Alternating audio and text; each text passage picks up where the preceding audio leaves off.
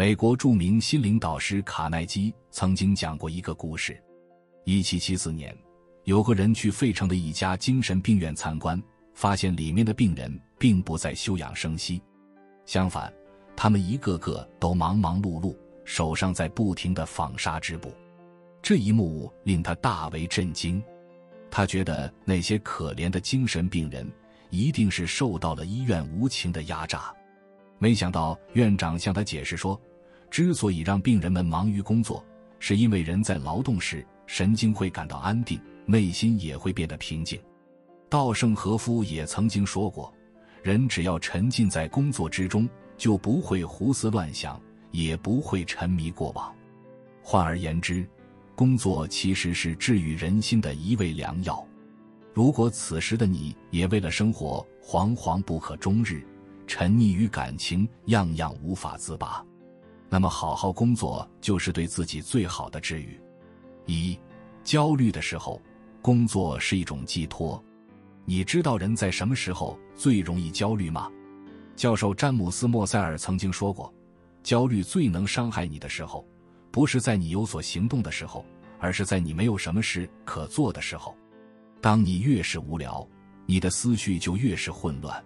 生活中许多负面的情绪就会被无限放大。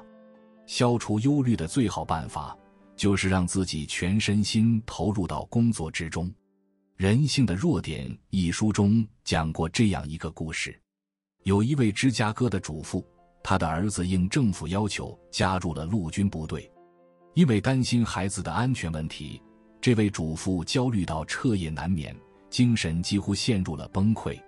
每天早上，只要眼睛一睁开，他就开始想：儿子在什么地方？他是不是安全呢？他会不会受伤？他会不会死亡？有人建议他让自己做家务忙起来，可是很快他就发现这招并不管用，因为做家务的过程中，他发现自己完全不用动脑子。也就是说，当他机械式的铺床和洗碟子的时候。脑海中仍旧不停想着儿子的安全。偶然的机会，他看到一家百货公司正在招聘员工，抱着试试的念头，他去上了几天班。没想到，工作的忙碌彻底治好了他的焦虑问题。每天，顾客挤在他的四周，问我关于价钱、尺码、颜色等问题，没有一秒钟能让他想到工作以外的事情。到了晚上。他倒在床上，马上就睡着了，没有时间，也没有精力再去胡思乱想。人闲是非多，百忙解千愁。很多时候，我们之所以容易胡思乱想，不过是因为生活太闲了。而当你全身心投入到工作之中，那些缠绕在心头的问题就会在忙碌中渐渐淡去。你会发现，在奔波忙碌中，哪怕身体累到精疲力尽。内心却能获得一分平静，手上有事做，心里也就有了寄托。所有的焦虑都可以在忙碌的工作中得到治愈。二，内耗的时候，工作是一种治愈。稻盛和夫说过：“工作是对万病都奏效的灵丹妙药。”一个人若总是在生活中反复内耗，工作就是疗愈自己最好的方式。因为它能够让人从源头处找到人生的价值，扫清你眼前迷雾，让未来从此豁然开朗。日本电影《入殓师》中，大悟是周围人眼中最典型的失败者。他苦练了十几年的大提琴，仍旧寂寂无闻。好不容易组建了一个乐团，可是又因为经营不善被迫解散。随着年龄的增长，身边人都逐渐过得风生水起。只有大悟过得潦倒不已，有人嘲笑他的音乐梦想是痴心妄想，有人讽刺他的生活是勉强苟活，就连大悟自己也陷入了深深的内耗之中。他不断质问自己，究竟是不是一个百无一用的废人？就在此时，大悟无意中在报纸上看到一份入殓师的工作，为了解决生活的困境。他强迫自己接受了这份工作，可第一次面对腐烂的尸体，他就感到了万分的恶心。独自一人的时候，大悟甚至忍不住失望落泪，想要立马放弃这份工作。然而，当他第二次鼓起勇气擦拭死者身体的时候，他内心有了截然不同的感受。他发现自己的工作看似差劲，但是却能让许多死者的家人从心底里感到宽慰。在这个阴森冷清的殡仪馆里，他的存在其实有着很重要的意义。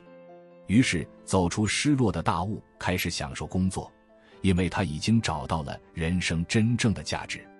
有人说过，工作最大的价值，并不是那点微薄的工资，而是一种心理上的成就与满足。它让你觉得自己也不是一无是处，它让你觉得自己的存在很有必要。哪怕你一无所有，只要有一份工作，就足以安身立命；即便生活有再多的难题，只要有一份工作，一切便有了意义。三、孤独的时候，工作是一种追求。短篇小说《那山那人那狗》中讲过一个故事：一位邮差带着一条狗，常年累月奔波于崇山峻岭之间，在重峦叠嶂的丛林之中。明明了无人烟，但邮差却从未觉得孤独，因为人一旦真正热爱上自己的工作，心中就有了追求，寂寞便不足为惧。二零一八年，翻译家许渊冲的妻子离世，独留他一人生活在北京畅春园的小房子里。爱人的离世，让许渊冲在悲痛之余，也感受到了前所未有的孤独。偌大的房子里。许渊冲时常呆呆地坐着，面对着四方墙壁，不知道干些什么。但随着时间的流逝，他逐渐明白，孤独是无法逃避的，所有的悲伤终究要靠自己去面对。于是他重新回到书桌，开启了自己的工作。在年轻的时候，他就曾立志要翻译完莎士比亚全集，无奈后来战火纷飞，生活也一波三折。让这个梦想暂时搁置。如今，为了做好这项工作，也为了完成曾经的心愿，许渊冲一头埋进了工作之中，查阅典籍，逐字逐句一一注释。最终，在许渊冲不懈的努力下，莎士比亚全集大获成功，受到广大读者的好评。而他的译本也被业内人士称之为以真化境，如行云流水，浑然天成。许渊冲本人也在日复一日的工作中平复了心情，内心变得充盈。有人说，忙碌的人从不迷茫，有梦的人从不孤独，因为人在工作的时候，内心的沟壑会逐渐被填满，你不再会去想着那些令你失落的人和事，而是把所有的精力都放到了工作上面。当你把每日的工作当成了一种追求。那么生活自然不再孤独，而是充满了意趣。四，绝望的时候，工作是一种救赎。有人说过，在你最绝望、最无助的时候，你就应该认真的去投入工作。极度认真的工作能够扭转你的人生。一九六六年，作家路遥还是一个意气风发的陕北小伙子，他爱上了来自北京的女知青林红。两人相恋后不久，路遥在当地争取到了一个机会，可以离开陕北去更好的地方发展。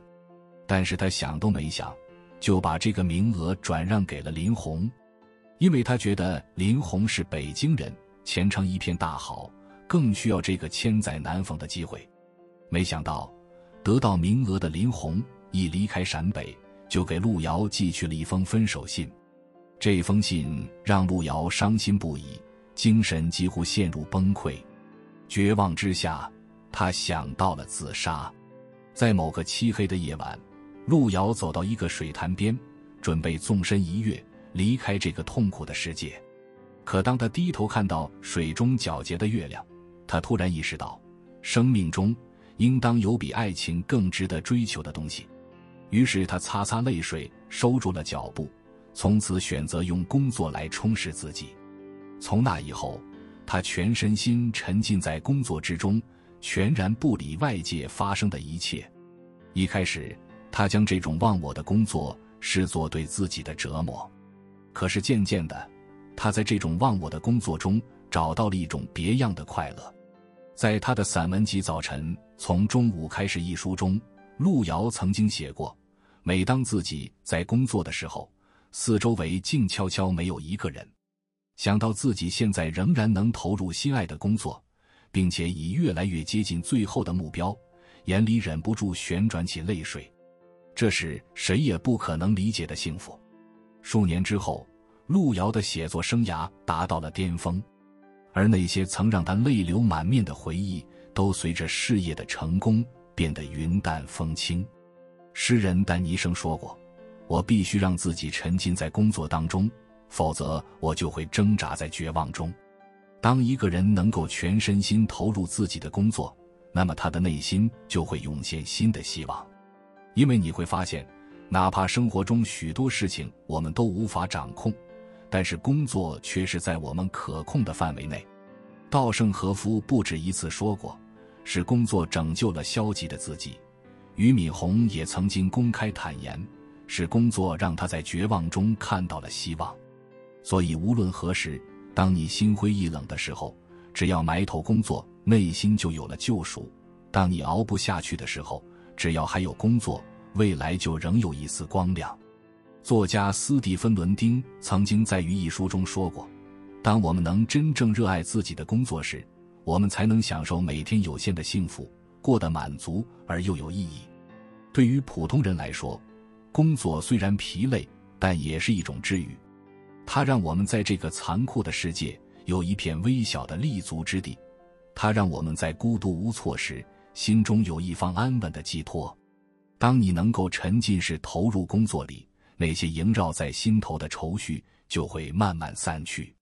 愿我们都能在忙碌的工作中找到真正的快乐，在疲惫的生活里成为更好的自己。